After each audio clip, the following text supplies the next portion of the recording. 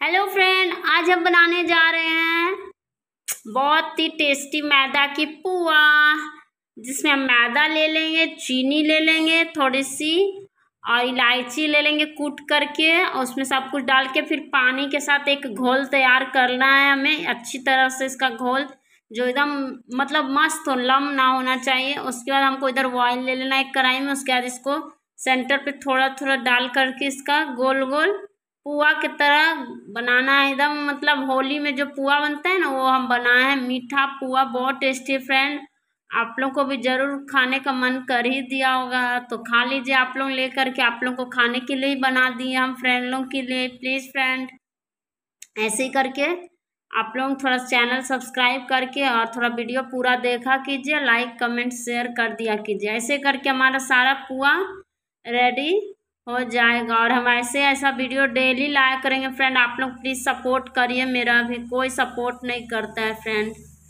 उसके बाद देखिए, हमारा पुआ एक रेडी हो गया। ऐसे करके हम धीरे धीरे करके एक एक करके छान लेते हैं सारा पुआ। और हम सोचते हैं कि अपने फ्रेंड लोग को खिला। देखिए, इसमें ज़्यादा कुछ नहीं ताम झाम में बस आपको मैदा लेना है। हम इसमें पाँच सौ ग्राम मैदा लिए थे। आप जितना ले अपना परिवार के अनुसार ले ले, पाँच सौ ग्राम एक किलो जितना उस अनुसार चीनी डाल दे, इलायची पाउडर डाल दे, काजू किशमिश तो डाल सकते हैं। पानी के साथ घोल बना के पुआ बनेगा। Thank you